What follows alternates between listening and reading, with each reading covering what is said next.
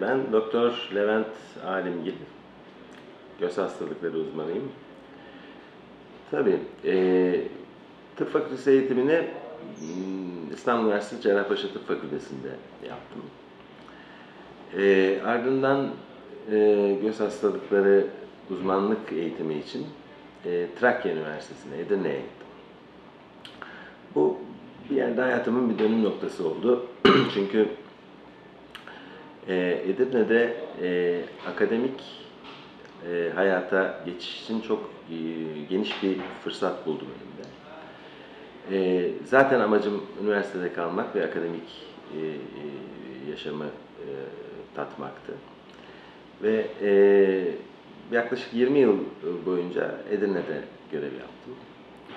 E, uzmanlık öğrencisi olarak girdiğim Trakya Üniversitesi'nden e, profesör olarak ayrıldım. E, oğlumun eğitimi sebebiyle İstanbul'a gelmek zorundaydım.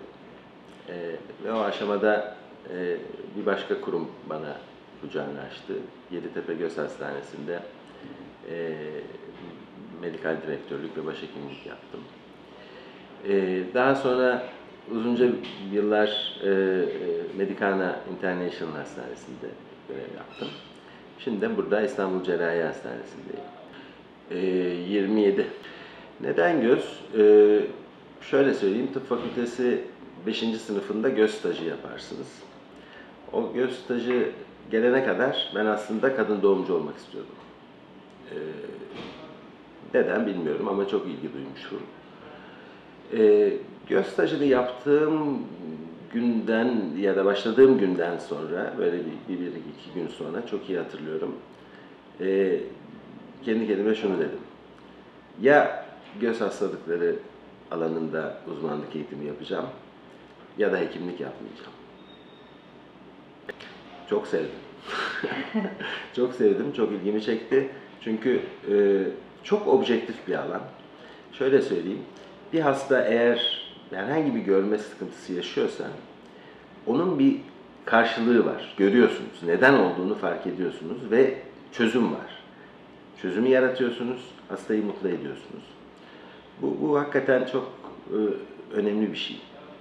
Yani e, karşılaştığınız hastayı e, sürekli mutlu edebilmek ve e, sonuçta bir organın tekrar işlev kazanmasını sağlamak e, bir hekim için e, duygusal anlamda çok tatmin edici bir olay.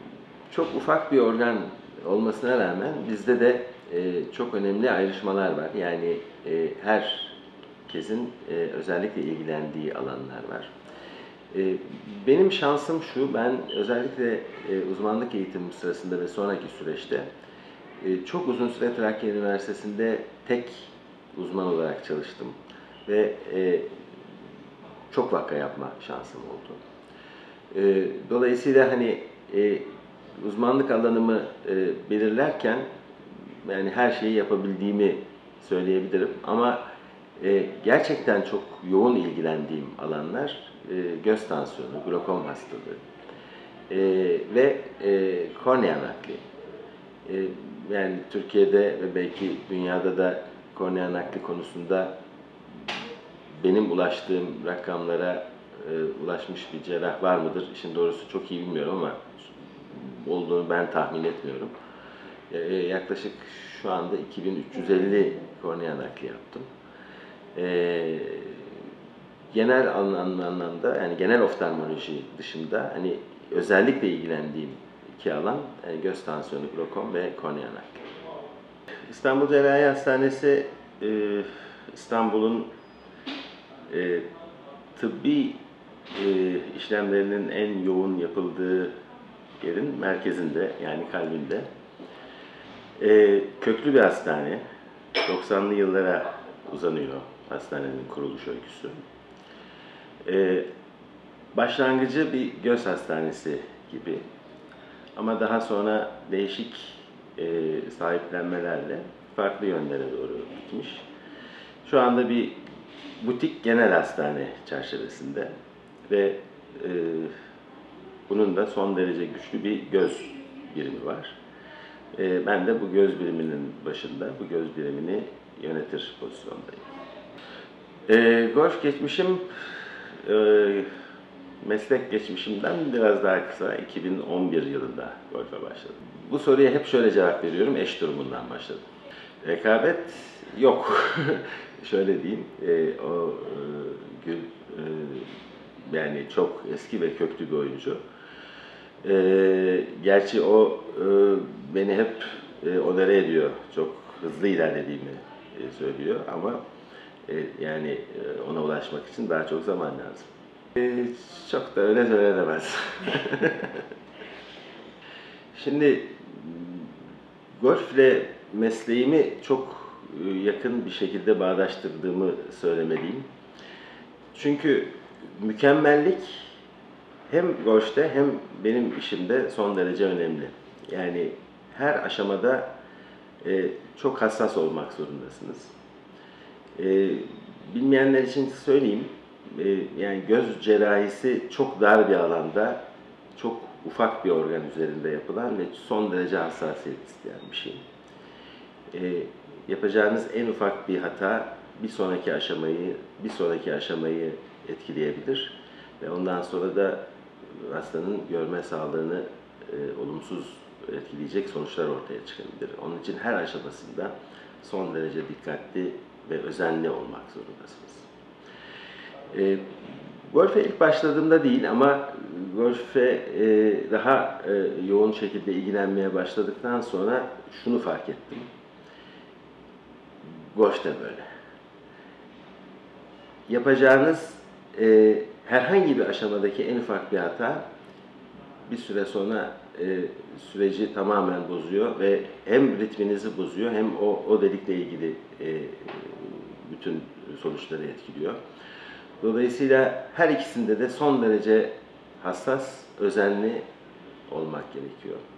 Bu, bu bağdaşma sanıyorum golfü çok sevmemi sağladı. Çünkü ben işimi çok seviyorum. Tersini söylesem daha doğru olur herhalde. Yani işteki hassasiyeti golfe aktarmak büyük hedefim. Tamamen gerçekleştirmiş olduğumu söyleyemem. Ama e, tabii birinde bir insanın organıyla ilgili çok önemli bir sorumluluk alıyorsunuz. Öbürü sonuçta bir oyun. Ama e, şunu söylemeliyim, e, işteki hassasiyeti golfe yansıtabilirsem, single var var. e, yani çalışıyorum, zamanım el verdiğince çalışıyorum. E, işte hem ders alarak hem e, kendim bir takım e, egzersizler yaparak hem vücudumu hem e, işte tekniğimi geliştirmeye çalışıyorum. E, ve hepsinin de faydasını görüyorsunuz. Yani e, aşama aşama aşama e, bir takım şeylerin düzeldiğini görüyorsunuz. Ama golf öyle bir şey ki yani her e, vuruş tekniği e, işte drive'ından tutun patasına kadar ondan sonra hepsinin hakikaten hiç hiç ihmal edilmemesi gerekiyor. Biraz biraz boşladığınızda e, çok kötü bir şekilde ceza kesiyor size. Golf'te yani en iyi olduğum alan sanıyorum iyi pata atıyorum. ee, geri gelmişken en kötüsünü de söyleyeyim. Ee, özellikle e, approach vuruşlarında bazen çok ciddi hatalar yapıyorum. Ve bu da biraz evvel söylediğim şeye benziyor. İşte bir anda her şeyi bozuveriyor. Çok çalışmak lazım. Çok çalışmak ve çok sabırlı olmak lazım. Ee, çalışmak sadece fiziki çalışma değil. Bunu da yani golf ile ilgilenen herkes bilir. Mental yönden hazır olmak için kendinizi oyuna mental olarak da hazırlamanız gerekiyor. Ee, çünkü bir, bir yapılmış hata eğer bir sonraki deliğe, bir sonraki deliğe taşınırsa gerçekten e, oyunun tadı çok kaçıyor. E, o yüzden moralinizi sürekli yüksek tutmak zorundasınız ve bir hata yaptıysanız onu unutmak ve daha iyisini yapmaya çalışmak zorundasınız. E, ve süre, süre de çok uzun tabii yani 5-6 saat e, sahada kalıyorsunuz. O konsantrasyonu sağlamak çok kolay değil. O yüzden yani işin mental yönünü hiç göz ardı etmemek lazım. Ben hep şunu vurguluyorum. Göz sağlığı e, ile ilgili e, süreci doğduğumuz andan itibaren yaşamak zorundayız. Ya da çocuğumuza yaşatmak zorundayız. E, Zaten ilk doğum anında çok büyük bir problem varsa o hemen fark ediliyor. Ee, çocuk uzmanı arkadaşlarımız tarafından ve bize yönlendiriliyor bebekler. Ama e, 9. aydan itibaren her yıl çok düzenli takiplerimizi yaptırabilirsek çocuklarımıza ve daha sonra da erişkin çağlarda o zaman e, birçok şeyi çok erken teşhis etmek ve bu erken teşhis ettiğimiz şeylerin de ileride çok büyük sıkıntılar yaratmasını engellemiş oluruz. Dolayısıyla ne yapmamız gerek e, parantezi içinde söylemek istediğim şey şu, çok düzenli göz muayenelerimizi yaptırmak zorundayız. Bana olmaz demeyin. Ee, öyle durumlar var ki e, bu kendi dostlarımız arasında da var. Boş camiasındaki arkadaşlarım arasında da var.